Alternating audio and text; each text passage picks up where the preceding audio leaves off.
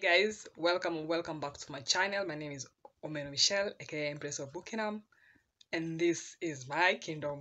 If you love books, if you love poetry, if you love art, if you love crafts, if you love TV shows, which I've not yet covered, I hope you'll stay. I hope you subscribe. I hope we'll get to know each other. I hope we get to interact, and I hope we will see more of each other.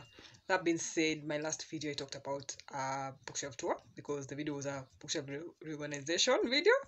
You can check it out on the prompt above. I've done a brief, a brief, 30 minutes, a brief bookshelf tour talking about the books that I own. As Ron Weasley once said, it's not much, but it's home, and I love, I love my books. I love my books, and I hope that you will see some of your favorites and we'll get to start a discourse on books that you love. If there are books that I haven't read and you would highly recommend, please don't be shy to talk about them in the comment section below. That being said, and with much further ado, let's do this bookshelf tour. Read anything. I don't care if it's backlist, new release, so long as I'm reading something that I'm really enjoying and learning from. Disregard those sounds you're hearing. My dog is jumping down on his bones. So, this is my most read shelf.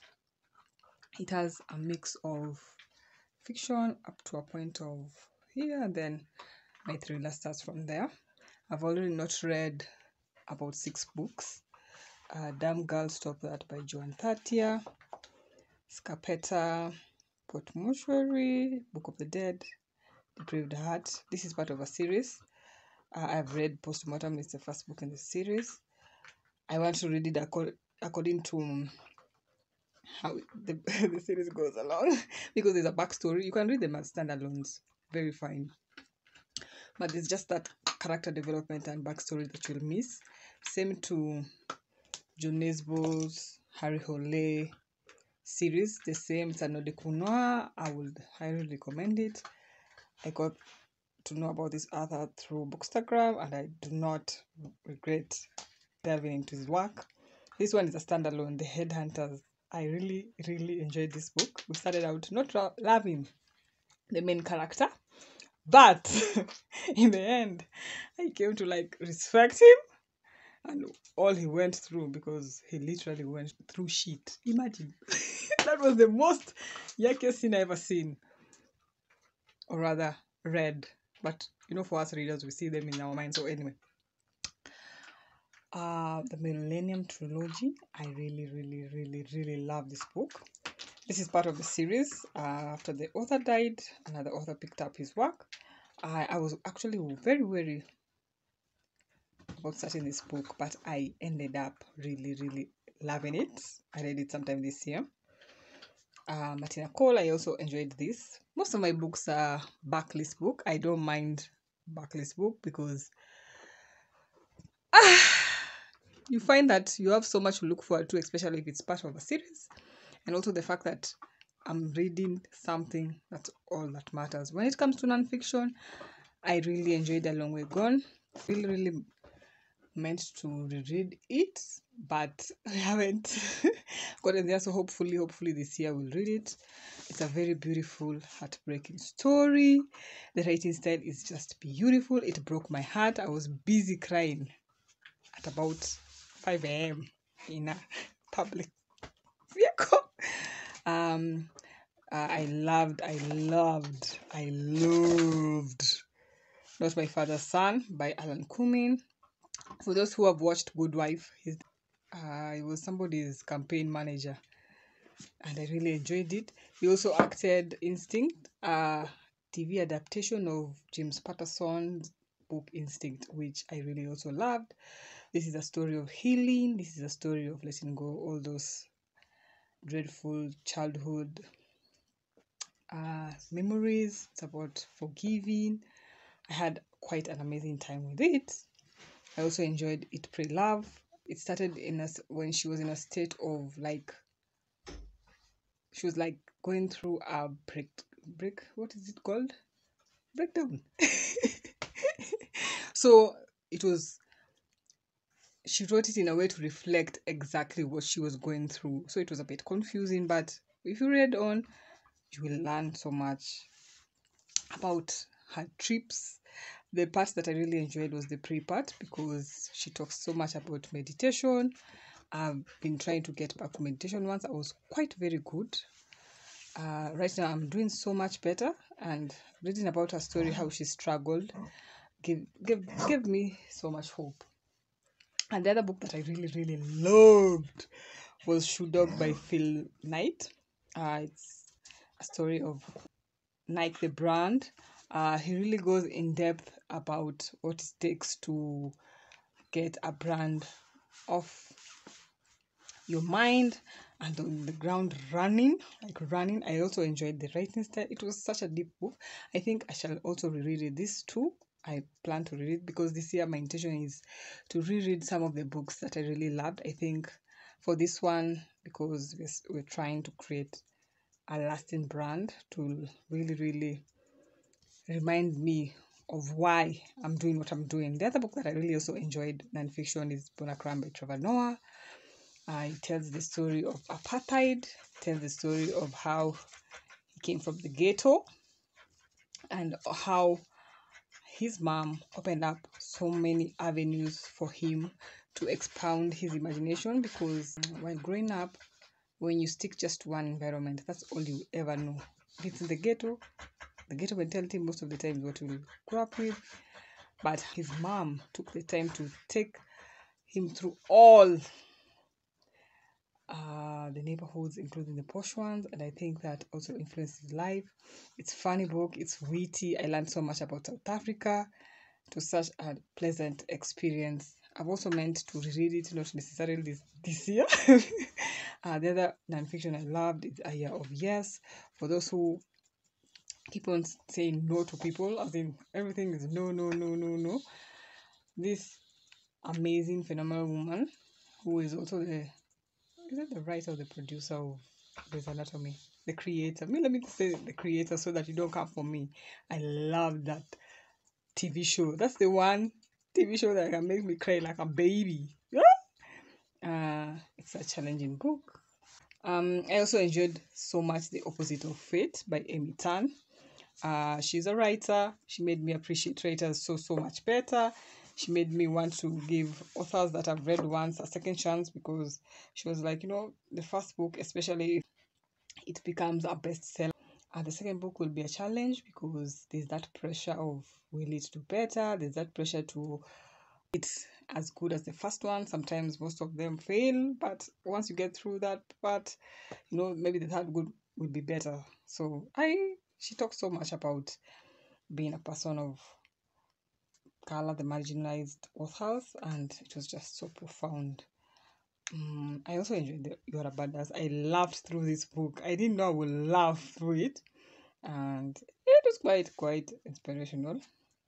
I also enjoyed Drafts, 100 Letters I Will Never Send by Nicole Silesisa, lest she counts for me. Those are letters that she wrote to people with the intent of not sending them. But eventually, if you know who you are and your name, you'll get to read the letter finally. Love books that make you feel things, and this is one of those books that make you feel, as in feel. You get to feel. You get to in. Even Blair Waldorf was written a letter to. Oh conversations with ah, how can I forget talk about conversations with God? This is a book that I always read every year, and I'm about to just start it this month. I won't say much. If you're interested, you can go Google it. yeah, it, it was one of the controversial books, and I love a bit of controversy. So, yeah, that's the first shelf, my most read shelf. Uh, from here, we can go to my list. Red shelf. Uh, this is a mix of what is a mix? Oh, classics, historical fiction, and literary fiction. If you see a book that's not supposed to be in a literary fiction, please pardon me. that is not my genre. I'm not very fast with it. And then from from literary fiction, we jump on to contemporary. This way, this way, this way, this way. Uh, from that shelf, my most profound read. Let's see. Let's start with the fact that the book thief kind of disappointed me. I think I went in expecting so, so, so much. I was waiting for my heart to be broken. Uh, it was quite interesting to see things during that time from the point of view of an innocent German. But I felt like the director kind of separated me from this person because I really couldn't feel what they are feeling, you know. But I understand what he was saying. I understood the commentary on the power of words. I understand what he was trying to pass through, but I was just expecting so much. I was expecting to cry like a baby, like a baby. The other book that I really, really loved was The Shadow of the Wind. Ah, thank God it was a um, buddy read because the first few chapters were kind of a bit slow and a drag. So I feel if I was reading it alone, I would have put it aside. But thanks to the buddy read, we managed to finish the book and it was beautiful. The writing style, oh, the storyline got to be much thicker than I anticipated. Uh, the other book that I really enjoyed was The Joy Luck Club by Amy Tan. I don't think you're shocked considering that I loved her memoir, The Opposite of Fate.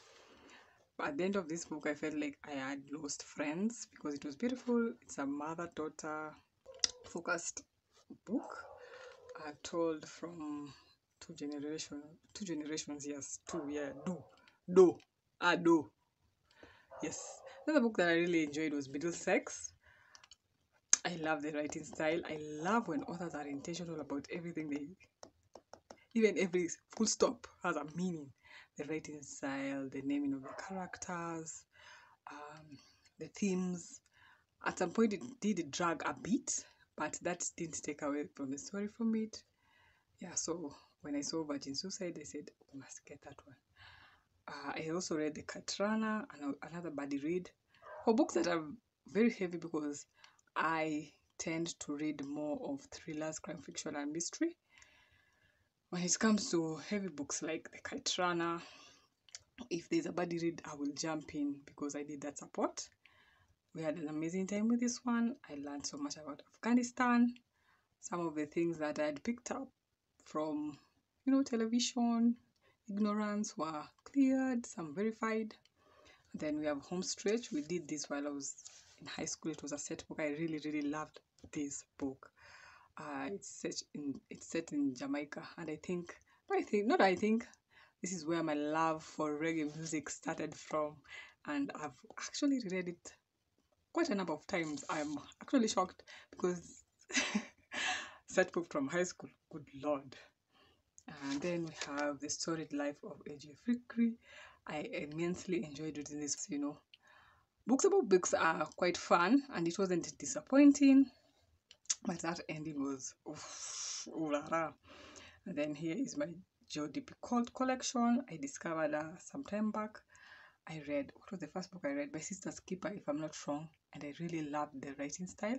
And then also I realized that at the end of her books, there's usually a twist that most of the time you never saw it coming but now that i know there's always twists i'm never shocked. But it still doesn't take away from that you know twist that shocking twist. Uh from this stack i haven't i've read seeing home. It's an lgbtq plus kind of book. Eh, she goes in deep. She's not afraid to talk about topics that most people shy away from and it was an awesome experience you know? I think i believe that was my first lgbtq read. Yeah yeah. I will not be afraid to say this. And then i feel like oh, this is contemporary. In my mind it's a contemporary. Uh last year we read when we were birds by Ayanna Banwo. Set in fictional trinidad and tobago. It was written in patois and i really enjoyed most of the book and i appreciate i appreciate what he did because they had two narrators. One was Yejide, the other one was Dewin. Yejide- Yejide's narration was a bit like you know confusing because she's stepping into a role that she wasn't initially taught about. So also it was confusing to her. So it was it was a bit yeah, it was a bit an experience. And then a man called Ove. We talk about depression. We talk about suicide. It was a beautiful, beautiful story. That ending still broke my heart. Broke my heart. Uh, I really loved Geekerella. It's a fun fiction book. Um, you know, young adults. I am a fan of Jenny Colgan. Uh, her contemporary book set, usually in the rural places, she has this formula about a female that is going through something in their life, and then they have to go someone someplace else, or they have to return home and salvage something. It's just usually so cozy and so nice. Actually, the other day I was reading. This is the stack that of books that I need to review the bookshop on the corner. I was really laughing out loud. I was busy marking passages about books because this is a book that talks about books and it's just glorious. This is one of my favorite books from her. It was a reread. Hopefully, we shall reread it again because we live for such. Any other notable book? I also enjoyed this Mary Kay Andrews book. It made me laugh. If a book makes me laugh and swoon at the same time, trust me, that will be a favorite. And then The Guardian. Of all Nicholas Sparks books, The Guardian is by far my favorite. It's not too heavy because I find um, Nicholas Sparks books so sad, so sad, so sad that I wonder how his stomach to write these books because words have the power to affect you. So, um, uh, this is part of these are two books in one, two books here and one here, are part of I think the Stars of Mithra by Nora Roberts, which I really enjoyed. Those are the first first books that I ever owned. We bought them from Nakumatt Lifestyle when it was in existence. Uh, the next shelf is this is my thriller. Thriller starts from here goes until someplace there. And then we start crime fiction, all this procedural mystery. Yes. Uh, because it's Disability Awareness Month, if you're looking for a thriller that has disability rep, this is part of Lincoln Rhyme's series by Jeffrey Deaver. Our main character is a quad quadriplegic and this one is book one the bone collector. I think if you have not even read the book you have heard about the movie. Uh, it's based on his book and it's the first book that and he goes really in depth talking about how the he became quadriplegic his mental state his choice to want to end his life and why. It was so so deep. It's tiny but it's so so deep but he has a freaking brilliant mind which i really really enjoy and then we have Dean Koontz. I am a fan of Dean Koontz. I've been collecting his work. The other day I read The Face of Fear, one of the oldest book by him that I own, I really loved. Uh, he has this lyrical, poetical way of writing his stories. Uh, most, if not some, uh, revolve around this idea about the power of the mind, which I really enjoy. So this is not the whole collection. And then we have James Patterson. We have also other collections from his first book that I ever read was Don't Blink. I lent it to someone. Someone did not return my book, but it's okay. We forgive and we learn. Uh, this is a Nordic noir, which I really, really enjoyed. It's the first book. If you wanna jump in on him, it's quite good. Then we have Tess. I love to read more of her works. One of her series was turned into a TV show. If you know it, Rizzoli and Isles, which I really enjoyed. It's, it's her, it's her current solo that I've had. Read that one because I wanted to jump in, but somebody told me since it's a part of a series, we'll have to like start from the start, you know, started from the bottom. Now we're here, so I have to collect the rest of the books. Um, Camilla Lackberg is an, also another Nordic noir that you might want to try. This is the only book I've ever read from her. Who doesn't know about Verity? I really enjoyed that book. It fucked my mind. It was hot and it was cold and it was hot and I was like, what the heck? Probably that might be the only book by Colleen Hoover that I will ever read unless she comes with another thriller. But oh, that book is fucked up. Uh, I also enjoyed this one. If you love Dan Brown's Lang- Langdon series, might, if you ever bump into it, this one.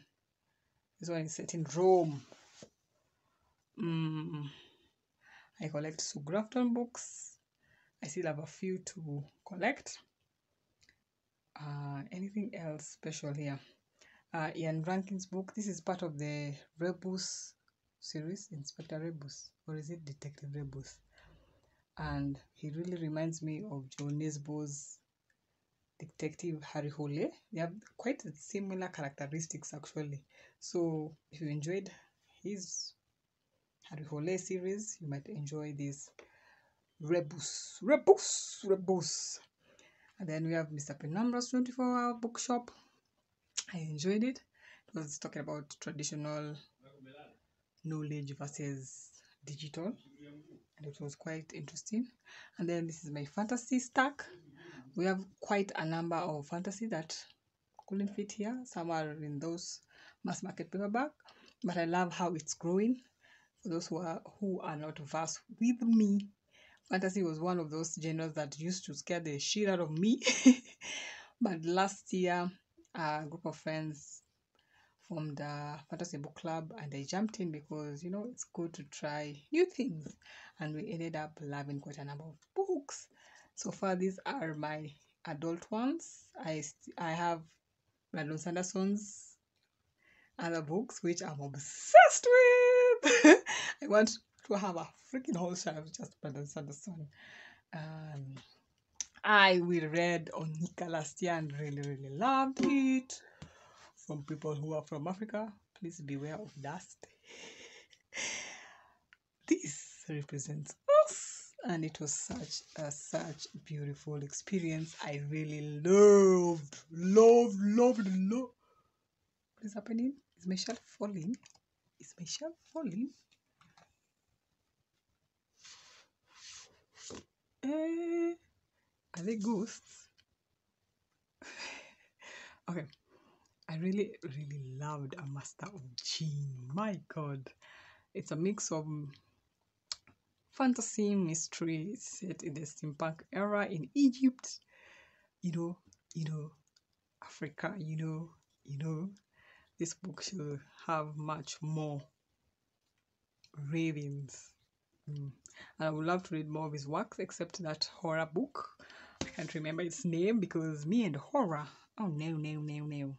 I also love The Final Empire. Oh my god, I can't wait to get the rest of the books. I'm made to read The the Night Circus, but hopefully next month we shall tackle this, and then I will not be doing justice if I don't freaking mention the fifth freaking season. This book is phenomenal. This book is phenomenal. The way the story was told and executed, the themes, it's quite intricate, and I'm so grateful that I had the support system to run back to. But it's so so beautiful. It's so so.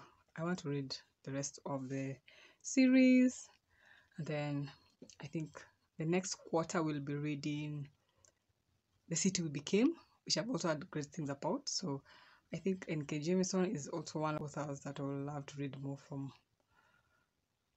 Mm, then we go to like children. I tried. I tried to be. I tried to to like go according to age or something of the sort. I think I believe this is the first fantasy I ever read, and I was like, "What the fuck? I want more." But it's YA. I started with YA, but that's where we started, and now we're here.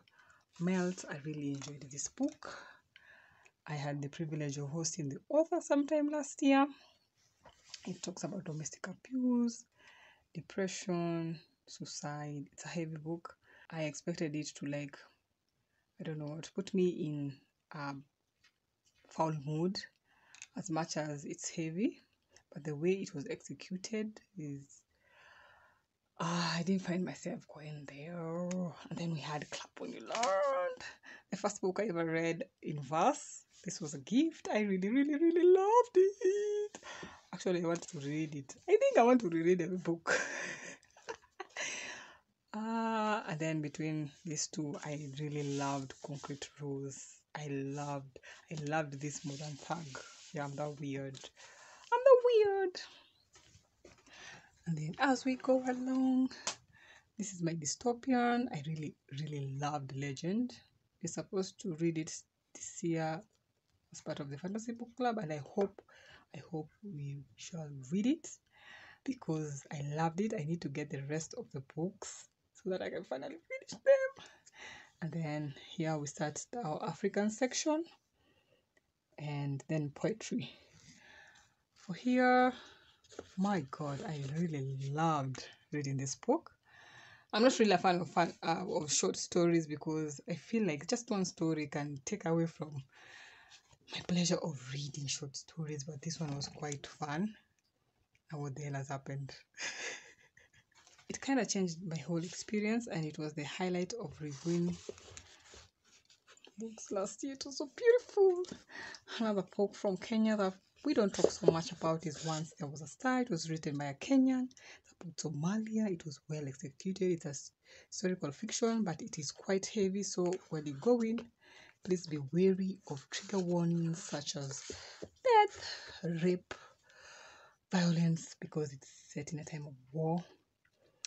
We cannot forget to talk about one of my favorite, favorite romance from home. This is the third book in a for Visa series by Mona Umbogo. These books are amazing. We had the privilege of hosting the author for one of our IG lives with two of my friends, Frankie and Jules. She had quite deep insights about publishing and how to go about it. Ah, I'm a fan. She's a playwright, she's a writer, she's in the film industry, and I love her books. Actually, this series. And then we have of Choice. This books retells the post-election violence of 2007. I was still in high school. Ah, it affected me deeply. I know people have quarrels with this book, but I immensely love it. She had the courage to tell a story that most of us trying to forget. It will never be written in the school curriculum. So to me, it was profound, just like that. Another book. This one because of its cover, because of its cover, because of its cover. Read Under the Udala Trees, which broke my heart, but then it was also hopeful.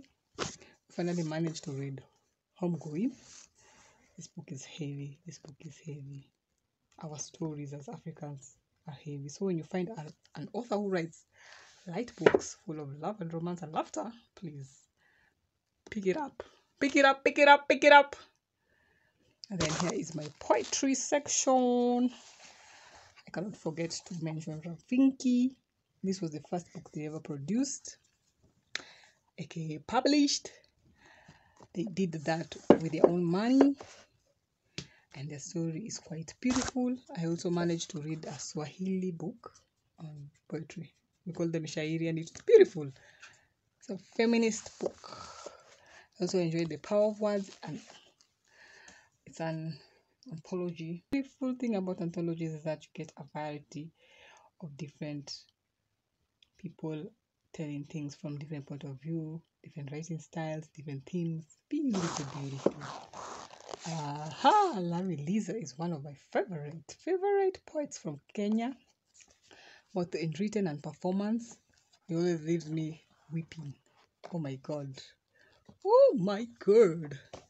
And then we have Candy Karemi. I really love this. It's beautiful. The quality, both outside and its content, is. We have Many Fragile Things by Victoria Ngujiri, which I loved. I loved. I deeply loved the illustrations. Sami Wanjala. This book is sad, heartbreaking, but somebody has got to read those stories. I'm yet to finish this by Wislawa. She won a Nobel Peace Prize for her works. Okay, and then the final shelf because we're only doing the bookshelves. I have these books. I have some over here, but because of how they're arranged, we shall just stick to the bookshelves because it's bookshelf tour. This is my hardback. These are mostly mystery, some literary fiction. Our Brando Sunday. I had the privilege to read an ARC copy of Yinka Where's Your Husband, which I really enjoyed. I have Taraji over there. I love her energy. You can even actually feel it from her books. I loved the help. This book, this book, one of my favorite books of 2022. Mm, I also loved, who is it? I, Alex Cross. And I would love to read more from the Alex Cross series by James Patterson. J.D. Robb, this is the In Death series. It's a romance with a mix of crime fiction set in the future. The romance will have you smiling and laughing. What? it's so mature. You can see these two characters coming from broken backgrounds, trying not exactly trying helping each other to heal. It's just beautiful. It's just one of those series that I think I will read and reread and never get tired of. And then we have Lamprith. I cannot forget to mention Dania Khan. She published her book when she was 12, going on 13. I stand to be corrected. And it's just beautiful and profound. I was honored to be sent a copy. Woo! I think that's it. Because at this rate, if we go on starting talking about all the books, we might be here forever. So, in a nutshell, these are my shelves. We have much more books, but we shall not go into them. I don't want to bore you. This was enough of a tour. Look at the African. I also st- I also have another um other books from Africa and Kenya. It's just that there's not enough much space. So, like Ron Weasley once said, it's not much, but it's home. So, this is not much, but it's my library, and I love, I love, I love, I love it. So, yeah, that is Dixie. Thank God he has never eh, beaten any of my books. We have we had an understanding, or we have an understanding. There we have it. There we have it, guys. There we have it. My library, my library. I hope you had fun going through it as much as I had fun talking about the books that I loved and enjoyed. I'm grateful to have books to read. And thank you for being in this journey. Thank you for watching the video until this part. If you have reached this far, please drop down as book stack emoji because it will be such an honor to know that somebody took their time to watch this video until this part. And I want to say thank you so much for being part of this journey. I hope that we shall create more. I hope I shall be back to making you laugh. And I hope you've been well. I hope you get to read more books that will give you more pleasure to take off the pressure of life. And until my next video, bye.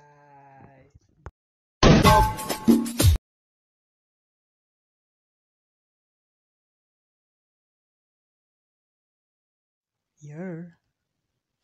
Yer. I love